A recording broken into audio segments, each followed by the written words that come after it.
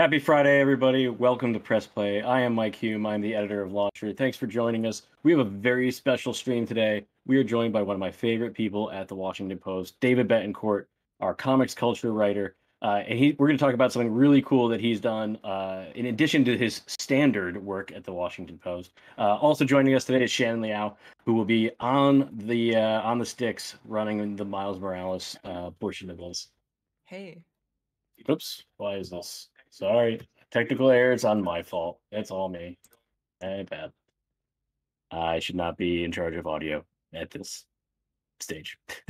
anyway, uh, let's pick it up from there. Sorry about that, everybody. Uh, so, David, um, thanks for joining us today. Why don't you start by telling uh, the folks at home what you do at the Post? Oh, thanks for having me. First of all, um, uh, Mike and I are both old sports department veterans, so we have that bond on top of our love of video games. Um, but I, I'm David Betancourt. I'm the comic book culture at the Washington Post. I write in our style section, which handles every aspect of entertainment you can imagine. My particular beat is focus on comic focus, focusing on comic book culture, and uh, what that means lately uh, over the last few years has really been all of the live action entertainment that's been inspired by comics over the years, whether that be Marvel Studios, whether that be DC Comics recently with the Batman, um, streaming with uh, the Star Wars and everything that's uh, ballooned out of Disney Plus right now. Um, but back in the day, uh, a few years ago, we actually wrote really heavily about comic books too, and I've been doing it for uh, over 10 years. Uh, I've been in style full time the last seven years, and it's a very fun job that you know I, I don't take for granted. How did that that role come about exactly at the Post? Was this something that existed and then you stepped into it, or is this something that you had to sort of petition for? Uh, I petitioned for it. Um, I was very lucky in that what I was petitioning for at the time there was already uh, a platform for it, and by that I mean we used to have a blog called Comic Riffs, and that was founded by my colleague Michael Cavna, who's also, mm-hmm. in my opinion, I think one of the best comics writers in the country. Uh, but Mike is a former syndicated uh, cartoonist who's been at the Post for a long time, both as an editor and now as a writer. He covers comic book culture with me as well. Uh, but I was here, I was an editor in the news service, and I came back to the Post after leaving for three years in 2012. Uh, that was the same year you, will recall the Avengers movie came out and made $200 billion at the box office. And that was kind of like a big bang moment, not only for Hollywood, but in my brain in terms of how much a part of Hollywood comics were about to become. So um, at the time, Kevin Merida was here. Um, as I'm sure you know, Kevin's now the head honcho at the Los Angeles Times. Before that, he was at ESPN's Undefeated. Uh, but I used to just walk into his office and be like, you know, I was already writing for Comic Riffs at the time uh, in a kind of freelance role while doing my full time duties as an editor here. Uh, but I said, you know, comics are really starting. I said this is about to get really big. Avengers had just came out. Uh, Netflix had just made their deal with all the Defenders characters: Daredevil, Luke Cage, Iron Fist, Jessica Jones, and it was just clear that there was just going to be this huge growth. And the way I explained it was, it was a language that I spoke. That uh, you know, Mike, I'm sure as you know, that mm-hmm. They're, they're they're the few and the proud of us in the newsroom who know who Spider-Man is under the mask, you know, whether it's Peter Parker or Miles Morales, but that's not, you know, I was kind of tooting my own horn for a bit, but I had someone like Michael Cavna, and as Kevin used to always say to me back then, the good thing is, is you've already you've already got a place for this content to land. It's just a matter of getting you there in a full time capacity. And in 2015, um, I got that chance, and I've been in style since.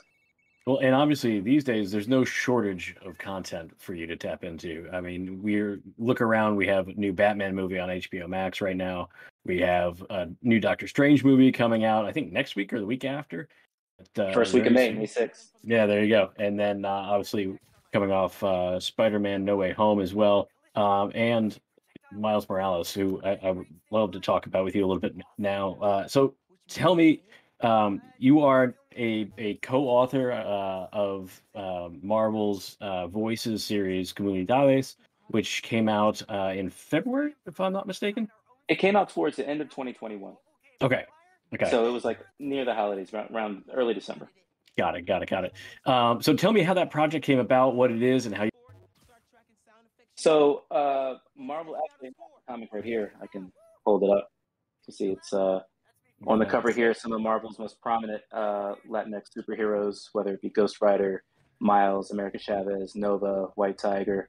Uh, what Comunidades is and what Marvel Voices is, it's an anthology And what they did is they tried to get together as many uh, Latino writers and artists um, who weren't necessarily uh, full time comic book writers, but people who had interest in the culture. Uh, but the goal was to create a comic book full of Latino superheroes, written and illustrated and edited by Latinos. Um, I had already had a relationship with Marvel because I had written a couple of essays for them for a previous Voices comic that centered mm. around their uh, black superheroes, and I had done that a couple of years before. So I'd written a couple of essays, and then I I wrote an essay. I don't know how this came about, um, but I wrote an essay about my love of Marvel superhero trading cards, uh, which were a huge part of my comic book education.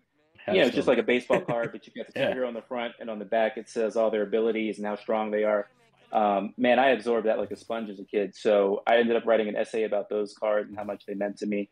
And it was actually right around my birthday uh, last year. It was a pretty cool birthday gift that I got a, a call from Marvel. And they said, "Hey, we we'd like you to be uh, a part of this, and how would you like to write your first Marvel comic and it be in a Latino anthology?" And I, I basically said, as long as it's Miles, I'm in there. And it's not that I didn't want to do any other characters, but as we can get into later, Miles specifically means a lot to me for a lot of reasons, especially because of my uh, background uh, in terms of who I am as a person.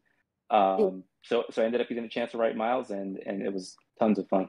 What What's your reaction when you get that call? Like, it, I think the equivalent for me would be, you know, picking up the phone and it's just like, "Hey, it's, it's Brian Cashman. We want to sign you to contract with the New York Yankees. Uh, when can you get here?" Uh, so, what what was it like just hearing that offer? I don't know if the Yankees can afford you now, man. you know, they're they're pretty thrifty lately. Yeah. Um, it it was, you know, it meant a lot to me because I was I was actually the first reporter when, when the news Miles debuted in 2010. So he's been around for about a decade. And when he came out, the the the way it was framed in the news was, you know, Marvel's half Latino, half African American Spider-Man, but nobody was really, you know, as someone that's half Latino, um, just spoiler alert, I'm the same thing Miles is. I have a Puerto Rican parent and I have an African American parent. Um, but no one back then when he came out was asking who he like. I basically wanted to know what flag he's repping. Latinos were really big into mm-hmm. our flags. Like you ever watch the World Cup? It's just flag central everywhere. That's it's like such a big part of who we are. But no one had asked. It was just Miles was Latino and black, and that was it. Um, or Latino African American, I should say. So I was interviewing Brian Michael Bendis, who's the co-creator of Miles Morales, and I finally just said one day, I was like, "Look, man, I need to know, like, his mother, Rio, where's she from? Like, and I don't want to hear Brooklyn. Like, I want to hear like ancestrally, where is she from?" And he's like, "Oh, she's, she's Puerto Rican." So I, of course, then let Bendis know that I was basically, you know, and he actually said to me, "He's like, wow, you are Miles," and that really stuck with me, hearing the guy that created Miles uh, say that. You know, this is at the very infancy of me being a, a, comic book reporter at the Post, long before I started doing it full time. So to get the call uh, from Marvel and, and, say we'd like you to write a Miles story, I felt like it was a huge responsibility um, because I'm the first person who was exactly what Miles is uh, to write him. There's some great people that have written Miles, Miles in the past, including Bendis, uh, many great African American writers that have had a chance to write him. Uh, Saladin Ahmed is writing Miles now currently in his Marvel comic series, does a fantastic job. Uh, but I was the first Puerto Rican and African American person to get a chance, and because this was an uh, an anthology, it gave me a chance to tackle something that I felt Miles that wasn't really approached when Miles was written in the comics. Superhero comics are about action. You don't pick up a superhero comic for somebody to talk about their ancestry for 22 pages. You want to see cars being bench pressed and you know punches and zooms and baps. Uh, but this was a 10 page story, and it was uh, just a chance to, uh, for the first time, have Miles talk about who he is as a person and what that meant to him and how proud he was of it. Yeah. So tell me a little bit about the, the process in, in crafting the story. Did you did you sort of already have an idea for for the, the story in mind, or was it something where it was just like, all right, now that I know I'm doing this, let me go put my thinking cap on, you know go your your mind palace or or whatever and really come up with something uh, original? I actually already had a story in mind and i don't say that cockily to say oh i knew i was going to write spider-man one day. But you know i'm a writer naturally by craft. It's what i do professionally uh, here at the post and you know so many post writers eventually kind of veer into other things. So I always said if I ever veered into something else, um, I used to always joke with my big bosses. I said, I don't know if I have a book in me, but I may have a comic book in me. Um, so I, I did have a story that always kind of floated in my mind about Miles uh, showing pride in who he was while at the same time recognizing that sometimes people don't see him as what he is. Mm. Um, Latino culture is historically uh, they they've had trouble uh, grasping with the terms of blackness within the community, um, whether it be the Afro Latino community or whether it just be acknowledging that that community exists. Um, so one thing I kind of want to incorporate it into the story, you know, so at the beginning of the story, Miles is mistaken for a Dominican, which I can speak for, you know, happens a lot. And as someone who loves baseball, it's a huge compliment because who plays baseball better than those guys? uh, but you know, I, I decided I wanted to incorporate a little bit uh, because this was my one opportunity to write him, but also my one opportunity to address uh, with Miles's voice uh, what it's like to be someone of that racial uh, mixture.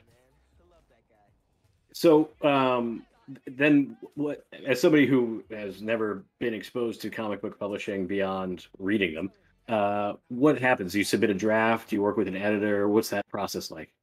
The first thing you have to do is kind of give a couple of page pitch of how the story is going to play out overall from beginning to end. Uh, more or less letting the editors and the artists know uh, the story you're trying uh, to tell. Once that gets approved it actually you then have to break it down panel per panel in terms of plotting out not only the action, uh, but what each character is going to say, what they look like when they're doing it, etc. So I first started with a couple of page pitch. Once that was approved, then we go to actually writing the script, which is a much longer process mm. um, of of you know setting up each each panel, whether it be captions, where characters are positioned, what it is they're saying, uh, splash pages with action, stuff like that. Wow. So lengthwise, all told, how long does that take from from initial idea to fruition? It you know I can't put myself in the position of your average comic book writer because the folks who are writing Marvel comics full time, it's their full time nine to five. Obviously, as you know, my full time nine to five is being a reporter here at the Post. So for me, um, I had to write the comic in my free time, uh, which a lot of times was nights and weekends mm-hmm. or early mornings. Uh, so it, it, took me about uh, I'd, I'd, say it was a couple. It was only a ten. The average comic book is twenty two pages. Um, this was an anthology with many voices, so each story was between five and ten pages. Uh, my story was a ten pager. Uh, so it you know it was a couple of weeks of, of back and forth with you know getting everything down, getting it to the editor, and then there's the back and forth with the editor. But that was a really fun experience because uh, here at the Post, you know, I, have had the pleasure of being edited by people like Michael Cavna or mm. Caitlin Moore, people who kind of have this geeky comic book sense naturally. But many times you'll have an editor that's not into that stuff, and you're kind of like trying to explain, you know, organic web shooters and, and stuff like that. So it was a really uh, surreal experience to be writing and being edited by people that knew more about Miles than I did. That was a lot of fun. I would just like to pause briefly to commend Shannon on unlocking the single best outfit in Miles look, Morales. Look at that. That is so yeah. These these, these costumes are so sick and uh Miles's original costume to me because he has a new costume now in the comics. Uh, mm-hmm. Uh, that's pretty cool. But his original that you know he he starts off with in the game from the comics. To me, it's one of the best suits in comics. Um, I actually, spoiler alert, I was not happy when Miles originally came out because they didn't reveal who he was under the mask. Mm. They hmm. only showed the suit uh, because you know back then uh, Miles and this to the popularity of Miles, Miles was a part of the Ultimate Marvel universe in the comics. The Ultimate Ultimate Comics at Marvel were kind of like a separate publishing line that were not connected to the main Marvel universe. Uh, so the Peter Parker there died, and I was very angry about it because he was my favorite character. He was a high schooler. Uh, he was around for over 100 issues. It, it, was great. So I remember they showed the original suit in, a, in an advertisement say, hey, here's a new Spider Man. He's coming. And I'm like, I don't know who that guy is, but I hate him. And there's no way they're going to get me to read him. And, and it was literally like the only way they could get me to care is if he were half African American, half Puerto Rican. And lo and behold, that's what he was. Because I went into it. I just knew he was going to look like Captain America under there. You know, the Chris Evans version, like you know, oh yeah, blonde and blue USA, and I was just like, but the suit was so cool looking, the mm-hmm. the black and the red. I was like, all right, well, because I'm, you know, a huge part of why I got into comics as a kid was the art. I used to draw all the time. So I said, all right, I'll check it out for the suit, but I'm not going to like this guy. And then, you know, obviously the rest is history. Now, now here we are talking about. So, so that leads me to another question because it's, it's been a, obviously a, topic of discussion now for probably the better part of, of five years, um, and that's just increasing representation in, in entertain, entertainment properties of all kinds, movies, shows, video games, whatnot. So obviously, this is a very specific instance where you're you're like, oh, that's not my Spider-Man, and it's like, wait a minute, that is my Spider-Man. What's that like to to be able to to see that? Because I don't think you know people like myself we're, we're used to we're used to Chris Evans, right? Um, right. So what's what's that like? What's the tangible takeaway? It you know Miles Miles's arrival is really when I think back about what comic book culture means to me in terms of you know teaching me how to read and my love of art and illustration and my love of creativity. When I think about all the key comic book moments in my life, uh, other than seeing my dad taking me to see the Michael Keaton Batman movie in 1989, oh, yeah. I don't think any anything in my comic book life ever impacted me as much as Miles's creation, because my you know half African American, half Puerto Rican guys are a dime a dozen in New York, but growing up here in Washington, where you know like the Marines, the few and the proud, it's not a lot of us. You know, it's mm-hmm.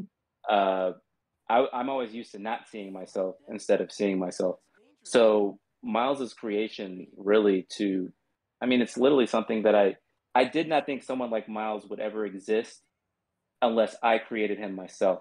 And that used to always be a goal of mine if I ever got to comic book publishing one day to specifically create characters that were Afro Latino, that were African American, and also uh, Latino, you know, bilingual, whatever it may be. Um, it, it, if anything, because there, has been a lot of resistance to this movement. Hmm. Um, people who want to call it whatever they want to call it, uh, you know, whether they be old school, whether they just the old guard that likes comics the way they are. Um, there really has been an effort in comics over the last decade to better represent the fandom, and I think social media has played a lot into that too because they've been able to see so many people from so many different backgrounds that have shown their love of comics. Mm-hmm. Um, but I think I think someone like me is proof positive that efforts like that aren't for nothing because uh, it's really been one of the most inspirational things of my comic book life. Sure, and obviously we we see it in video games too. Obviously, a lot of people will remember the controversy around Last of Us Two and the decisions they the characters uh, being including an extremely diverse ca- cast, including a trans character. Um, but I, I think it's an era in which we live now, where it's just like you know we want to be more representative of the world around us. Like there shouldn't be a monopoly on by any race creed culture religion on uh, on superheroes on characters. I mean i think we gain a lot as a society by seeing different characters different backgrounds different ways of life um, that ultimately helps us understand one another a lot better. Uh, and i think I, you know, personally it's a trend that i hope continues. Uh, frankly, I think it can be done in ham-handed ways, but I think the overall point of it is a is a good one. Yeah, every, everyone deserves to see themselves as the hero. Sometimes, you know, uh, you don't just want to see yourself as a supporting character or a stereotypical character, or not see yourself at all. You know, to see yourself front and center um, in a medium that you enjoy is it means a lot. Uh, you know, I think Brian Michael Bendis and Sara Pichelli, the the two that created Miles Morales, deserve a lot of credit because back when Miles came out in 2010, uh, the comic book industry was not nearly diverse in terms of the mm-hmm. people that create these characters, in terms of the writers and artists and editors. So it took somebody like Brian Michael Bendis, who was one of the biggest writers uh, in the industry at the time, and is still one of the biggest writers, to say, "Hey, I'm going to take this opportunity, and we're going to throw some groups in here uh, that haven't been represented in terms of being the hero underneath the mask, and that being Spider-Man's mask is is a big deal. Yeah, no, for sure, for sure. Um, let's talk a little bit about comic book video games now, as, as Shannon's diving into action here. So, uh, to date, I, we know we, we've established you. You sadly have not tracked down a PS5 yet, so uh, you've not yet played Miles. It's my great shame. Yes. No, it, it, it is. That, you are not that, alone, my friend. No Pulitzer, no PS5. I'm just dying over here. well, hopefully, uh, both are in your near future here. Uh, but uh, to date, what has been your favorite comic book property that's been brought to game form? Uh, it's it's definitely the Smiles game, just because it's so well thought out. Um, I, I have some pretty horrid superhero video game stories. I'm old enough to remember the original Superman game on NES. I don't know oh, if you no. ever played that, Mike. I'm sorry. I'm sorry. I, I, got that game for Christmas, and that's when I realized Santa wasn't real because I was like, if he was, he wouldn't have given me this game right here. It was just. So, I was. I think I was like eight, maybe nine, but I mean, Superman couldn't even fly in the game. He would just like jump really high. So between that and back when I was in college, when the first Spider-Man movie came out, I'm sure you remember the Spider-Man movie games from the original trilogy. Yep. Um, I made the mistake of, you know, going online and digging up some cheat codes, and I beat the whole game. And the the first Spider-Man movie game, based off of Tobey Maguire's first movie, totally ruined the ending of the movie for me. Mm-hmm. So when, when I played the game, and uh, that final scene where Tobey's fighting the Green Goblin, I, I already knew what was going to happen, and I hate. I'm one of the, there, there's some people that don't mind being spoiled. I personally hate being spoiled. I go out of my way to not spoil people in my writings or anything like that. If I have some spoiler stuff, I always put a spoiler warning at the top. So I've I've had a dark history with superhero video games. So to see them get to a place like where they are now with this Miles game in terms of you know the power of the PS5, in terms of the graphics, in terms of playability, in terms of mobility. Mm-hmm. I mean, it's it's a sight to see.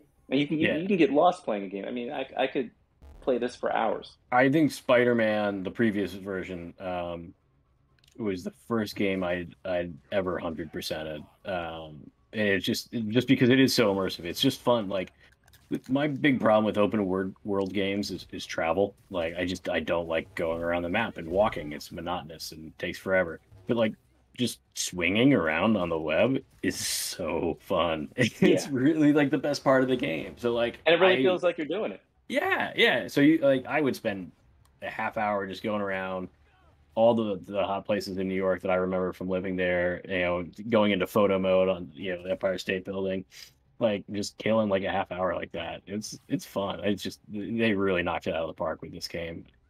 And no, uh, this, yeah, the graph the graphics are great. The the look it, it's smooth, and and all the suit. I mean, they're they got so creative with this. I mean, a lot of these suits that they created for this game, I would love to see make it over to the comics or an animation. Thousand percent, yeah, they did a really good job. Um, even better than the, uh, original Spider-Man 2018, 2018. I think it was 2018. But uh, yeah. Um, and now uh, Insomniac, I believe, is going to be behind the upcoming open world. Well, actually, we don't know if it's open world, but it is going to be a game about Wolverine, which I am extremely optimistic about. Wolverine so. is such a great character with so much potential. I mean, he's he's got a podcast. I mean, the the the, the, the different ways you can play with Wolverine uh, is amazing. So I'm I'm really looking forward to uh, that game as well. Let's talk a little bit about um, the upcoming slate of movies here. So obviously, we just finished uh, Far From Home, and the next step here, we're uh, heading into the Multiverse of Madness with Doctor Strange. Uh, what do you know? What are you looking forward to? What do you uh, What do you want to see? I can tell you, I know absolutely nothing. Um, Marvel is so tight-lipped with this stuff. I still don't even know when I'm going to see it. I've uh, I put in my interview request to speak with the stars. Um, that's always 50 50. Um, as I'm sure you remember, Mike, I, I, had the chances. I spoke to Tom Holland for Spider Man mm-hmm. uh, No Way Home, did a feature on him. That was a lot of fun. Uh, it required me to, you know, see the film before everybody else. So I knew everything that was going to happen and had to just like literally, I'd just be like shaking at my desk because I couldn't talk to anybody about it. Uh, Doctor, I, I truly believe Doctor Strange for a couple of factors. I think this movie has the potential to be even bigger than mm. Spider Man. Now, I know you're saying, well, Spider Man is like the biggest movie in the pandemic era, billion dollar movie. But yeah. the thing about Spider Man No Way Home is deep down, we all knew that Tobey and Andrew were going to be there at the end of the day. It was mm-hmm. going to be disappointing if they weren't in there. The right. key was just not being spoiled by it. But deep down, all of us with our internal spider sense, we all knew, especially once you saw Alfred Molina and Willem mm-hmm. Dafoe and I'm like, there's there's no way they're yeah. bringing all these bad guys from other movies and they're not gonna be there. The thing with Doctor Strange is we know absolutely nothing. You know, they had the one tease in the trailer where it looked like Patrick Stewart was there. You see like the corner of this bald guy's head, and you hear his yep. voice. You're like, "Oh my God, is Professor X from the X Men going to be in this movie?"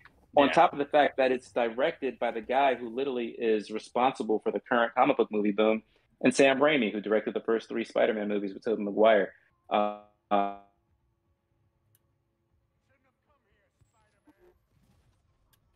nope. You ought to, uh, I think we've reached the end of your AirPods there. oh no. Jane, well, meantime, yeah, you were you were wrecking some fools here. Side mission. Thank you. The movement in this game is just it's so good. Like it, you feel like a superhero just because you can move so well. And I love the finisher moves too. You had a couple, especially with the cat, where the cat flies Whoa. out of him and claws. Oh no! I fell into the water. yeah, I just haven't played this game in uh, about a year, so I'm a bit rusty. David, uh, just give us a shout when you get your uh, audio situation straightened out. But in the meantime, we'll enjoy Shannon's gameplay here. I uh, I I mentioned it before, but I'm I'm really looking forward to, to Wolverine. Wolverine was my favorite comic book hero growing up. Um, just what a badass man! Like if there's there's one person you just don't want to mess, it's it's Wolverine. Like I even you know even the Hulk, you know he crossed paths with him. He came out a little worse for the wear. So um, really fun character. Um, I think Hugh Jackman did a great job with him. I'm curious to see if slash when uh, the X Men are incorporated into the Marvel cinematic universe, um, who they end up casting. Because to me, Hugh Jackson is just iconic uh, in that role. Um, I'm just not sure anyone's going to uh, measure up quite with the way that, uh, especially in Logan. Um, Hugh Jackman was just phenomenal in that that one. Did you see that one, Shannon? Um, actually, yeah, I think I did. I yeah, uh, that... yeah, I love Wolverine. Um, yeah, I'm really excited for the new movie. I pretty much watched like every Marvel movie, so I was also excited for David to to come on this uh, show. And yeah. Yeah, and I think one of the the more common like, hey, it's the pandemic. I have a lot of time at home. What am I gonna do? Like a lot of people are like, let me just watch the Marvel Cinematic Universe in chronological order, which I have not done personally. Um, I think that would be an interesting, um, interesting task, but I, it's also one that I think would take about like seven days at this point. so. Oh yeah, definitely. It's uh, it's tough. Um, I I actually wrote an article before about the uh Marvel Avengers Infinity War, and you know mm-hmm. people, uh, if people hadn't watched all the movies, what would their experience of that film be? because you know you have to watch like basically 20 films to really get every single uh, kind of clue and joke. Yeah, and I, and I think that's really one of the challenges for Marvel and Disney at this point is like how do you continue to onboard people to this franchise without sacrificing a lot of like the ongoing storylines and like the the Easter eggs and the fan service stuff that people who have been watching since uh, the original Iron Man at this point, which was I think was like 2006 something like that. Um, I, David would know. Um, okay, sorry, I got bumped off there, guys, for a second. No, no worries, no worries. Um, we were just talking about uh, how Marvel's challenge now is to on, continue to onboard new fans to the, the, the cinematic universe properties while uh, not forfeiting like the the established fans that are um, that have been watching it for the past you know however long, like twenty years at this point. Yeah, there there are a lot of people that took a, a streaming deep dive because you know 2020, a lot of us, you know, were boxed in wherever we were. And uh, I, I, honestly think that's a big part of why WandaVision was so huge. It's because mm-hmm. it was the first new Marvel thing that we'd seen uh, since the pandemic started. Yeah. It, WandaVision to me, uh, and we'll talk about Moon Knight. Tell me what the heck is going on.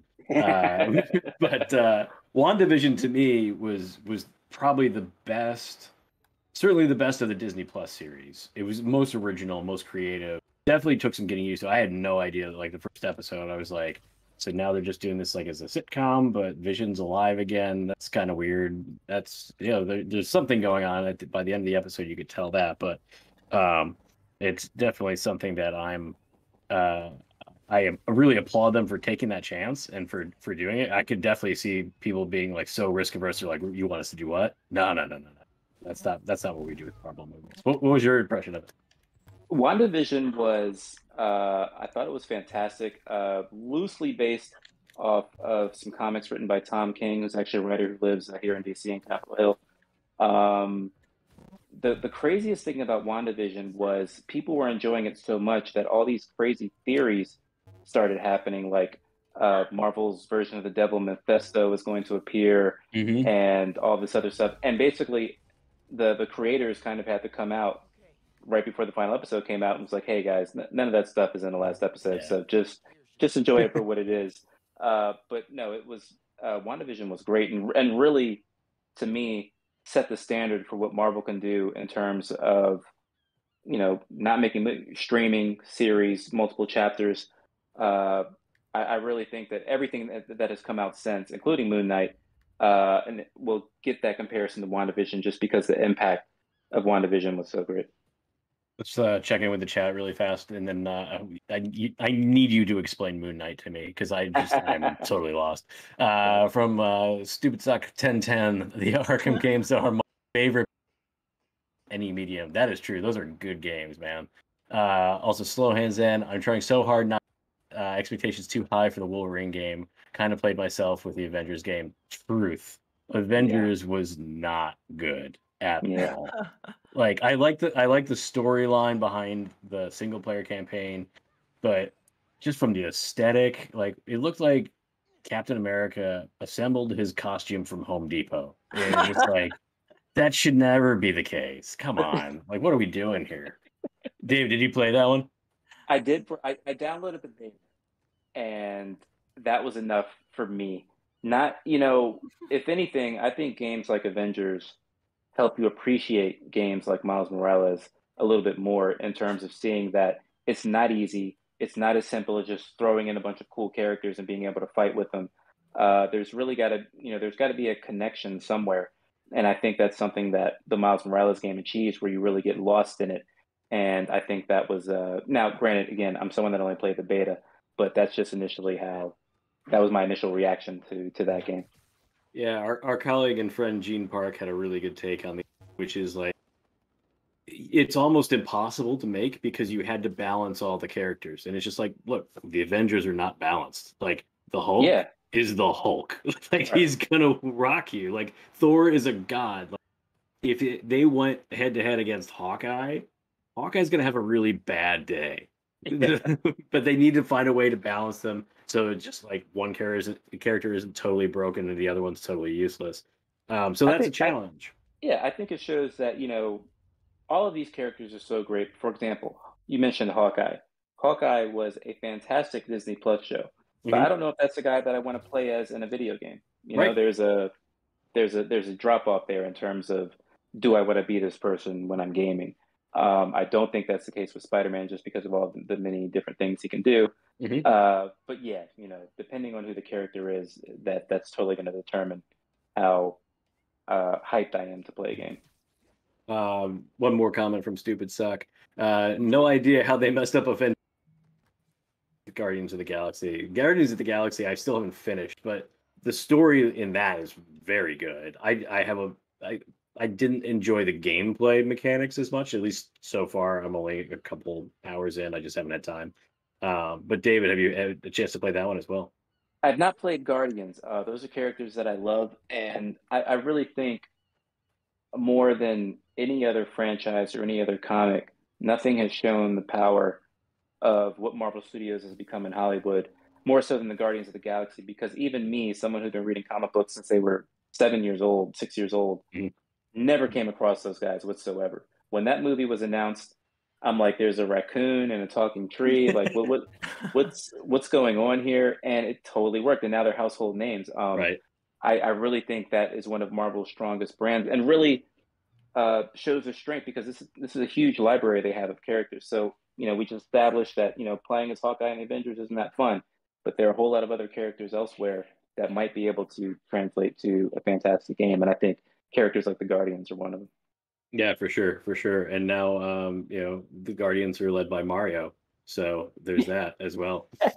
Oh, Not o- well, not only that, but they have a they they also, although I think it's only going to be for a blip, they're going to be in the new Thor movie in July. I don't know if you just saw the trailer. That I did out, see the trailer. Yeah. t- t- It's it's worth it, but you know, just the the comedic bromance between uh the So Chris's good. Yes. uh is is is quite hilarious. No, I'm I'm I'm there for that for sure. Um, the last Thor movie, um, the title of which is eluding me right now, Ragnarok. Uh? Ragnarok, yeah. Yeah, uh, so good. Taika Waititi is just such a good director. It's a nice blend, those two. Oh yeah, it's terrific. And they, Tho- those those movies feel uniquely his, and that's not easy to do in the Marvel Cinematic Universe because most directors get there and the story's already ready, and Kevin Feige already knows what he wants to do. They already know where they want things to blow up. So Taika, Taika really came in there and really kind of put his vibe into those movies.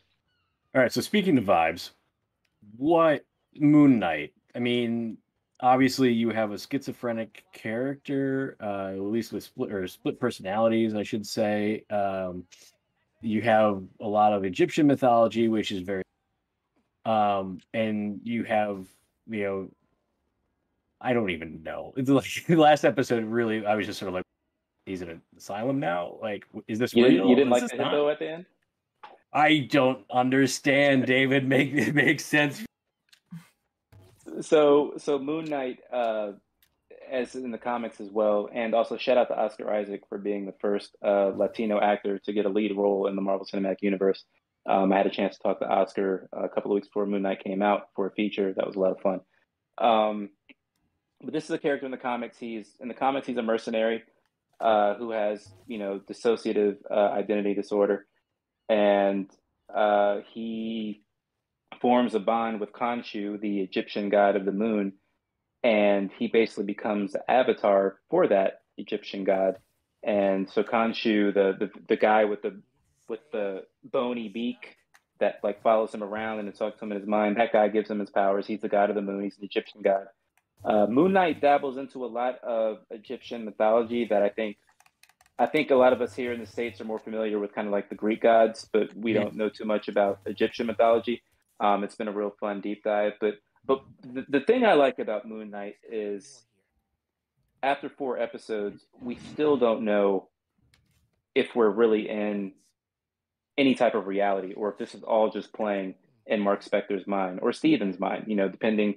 There's also another identity, uh, Jake, uh, in the comics, who we've yet to meet. That a lot of people think he'll be showing up in the fifth episode that comes next week. Um, but Moon Knight is just a chance for Marvel Studios to get a little weird. Um, I had a chance to speak with Mohammed Diab, the uh, one of the executive producers, directors, and writers on the show, and the you know these Marvel series on Disney Plus, they're not beholding themselves to uh, everything that happens in the comics, so they can take a few more chances. I think that's why Moon Knight has such a different kind of psychological vibe.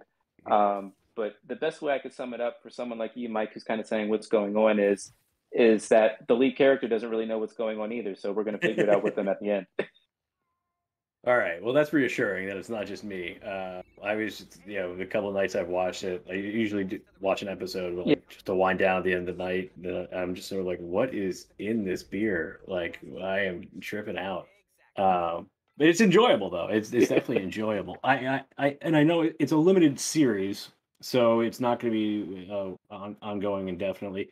Do you Right, think? only, only two episodes left, six episodes total. Right, right. So, do you think that there is, um, you know, the a plan for Moon Knight to make a, a movie appearance at some point? You know, I, I asked Mohammed about that, and this series, more than really anything else that Marvel has done, both in the movies and on Disney Plus, feels as disconnected from the rest of the MCU as anything they've ever done. Mm. Like uh, they had initially planned for maybe some other heroes to make cameos, just because that's something that always happens in the MCU. Uh, but they decided that they had something unique enough that they didn't need to do that. So Hmm. I don't think this is the last we've seen of Moon Knight. Um, I don't wh- whether he gets an entire new season, we don't know. But I definitely think he, he's a character that could pop up somewhere else in the future. Now, refresh my memory because this, I, I never read the Avengers that closely. I was more uh, X Men, Spider Man fan. Um, but was Moon Knight ever part of the Avengers?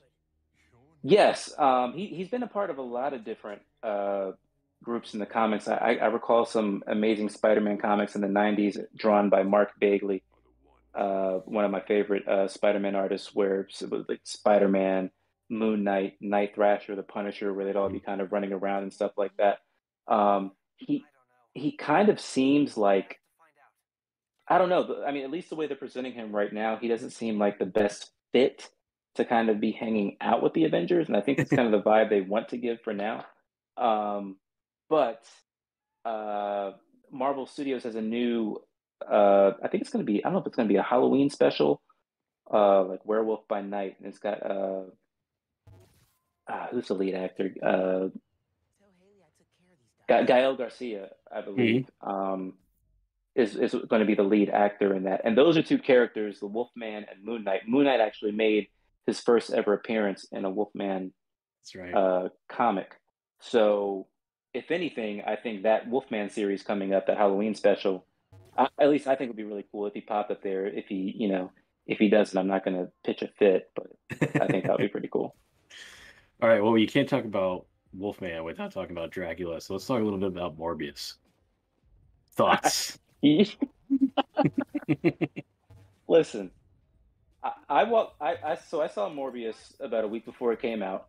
Uh, put in a request to talk to Jared. Uh, didn't go through. Here, here's the thing, Mike. So do you re- you remember that? You know, say right after the first two Spider-Man movies came out, between like 2004 between 2004 and 2007, where you had movies like Ben Affleck's Daredevil and Elektra, yes. which was horrible. regrettably yes, yeah, yeah. But but if if Morbius would have came out back then, mm-hmm. I think people would have been like, hey, the, the, you know, good for Marvel for trying. Yeah. But when you have this huge uh, body of work from Marvel Studios, um, that's really and that, and that's why Spider Man is in the MCU now, even though he's a Sony character Mm-hmm. It's because they realized they couldn't compete with the might of the Marvel Cinematic Universe, and people didn't care as much because he wasn't intertwined in what they had built. Now, you know, Sony has the rights to all of the Spider-Man characters, and they always will. And it's always going to be a good business decision to at least try. Uh, but Morbius, you know, I they're going to have to decide: can we keep trying to make these movies that we know Spider-Man isn't going to be in? Is it right. enough? Will people care enough just because this is a character that we know could bump into Spider Man, but likely won't?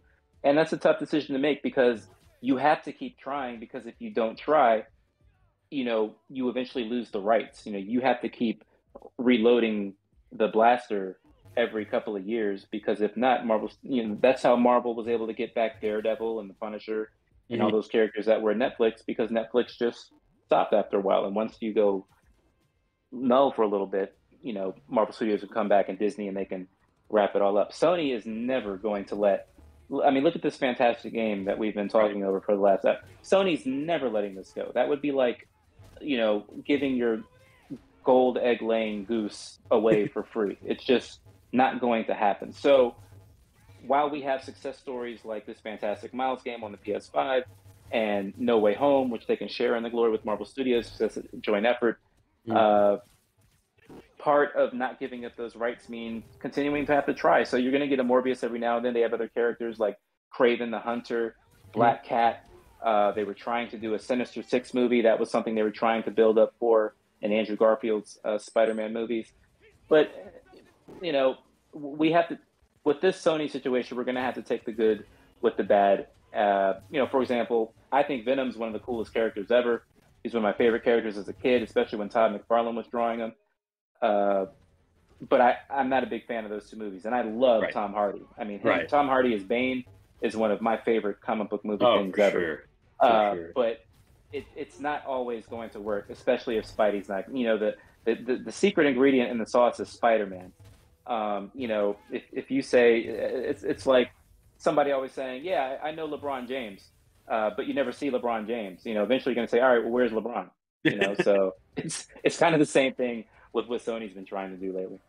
Yeah, no, I could totally see that. I could totally see that, and and I think maybe w- one of the solutions that I would I would propose modestly is to let those movies with the more fringe characters um, almost be more like an independent movie. Like you know, you, you uh, have a deeper plot, more character driven, and less like just the the superhero m- movie, you know, checklist uh, going down. Just like oh, we have the origin story movie, and, and et cetera, et cetera, et cetera. Um, to me, I think that might be a little bit more interesting. Um, and and like if the character isn't totally beloved, and if it's just like you know, um, it's like you know, uh, the scene in um, Avengers Endgame when they're in the, the diner and like Paul Rudd's like, "I'm Ant Man," like the kid's like, "Yeah, cool, yeah, whatever. Just yeah, I'm gonna go hang with the Hulk now." Um, right, right. Yeah, like if they they could find a way to the story and and the just like the cinematic drama of it can carry the movie a little bit more than just the character of the you know the comic book character, I should say. Well, look um, at the look at the Joker movie recently. I think that's exactly. a perfect example. Good example. Um, I, I you know I, I, I totally see what you're saying. There is that if you know the big time superhero can't be there, don't try and make it a big time superhero movie. You know, you can totally try and veer in another direction tonally uh, in terms of the vibe of the movie. But you know, we'll see. For now, Sony's still trying to prove they can make superhero movies. If anything, I think their biggest hope is one thing Spider-Man: No Way Home did, and I know this for a fact because I, I wrote a whole appreciation, kind of apologizing to the guy. Is everyone loves Andrew Garfield as Spider-Man now, and kind yeah. of realizes that he kind of got a bad rap because his movies came out. His first movie came out 2012 when the Avengers came out.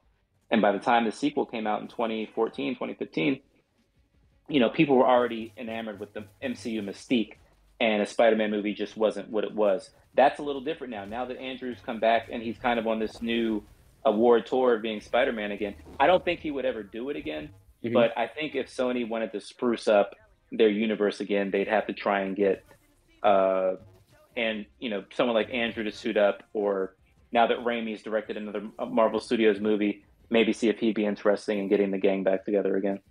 Yeah, yeah, that would be interesting for sure. That would be interesting for sure. Um, all right, so looking forward, and, and we can start to uh, start to wrap up a little bit. Um, but we're, right now, it feels like we're we're on the upslope. Like we're on we're we had that lull between Endgame and and now, but with No Way Home, the Multiverse of Madness, very closely related um, it feels like we're on the, the, the ascent again. So I want to hear some theories, fanboy theories. I don't care. Like you, you said, you don't know anything. I'm not entirely sure uh, that's the case, but uh, regardless, uh, let's let's let's spitball here. Um, where are we going? Who's the big bad that's going to be coming through in the next couple uh, movies or so? Well, uh, what we do know is uh, Jonathan Majors, who appeared made his first MCU appearance at the end of the Loki series. Mm-hmm. Uh, he's going to be Kang, Kang the Conqueror, and so that is basically the next big MCU bad guy, maybe for the next five years or so, that could result in a new Avengers team forming. Who who would be on that roster? Whether it would be Anthony Mackie's Captain America, or uh, Moon Knight, or America Chavez, who's making her first appearance in Doctor Strange. You know that that we still don't know.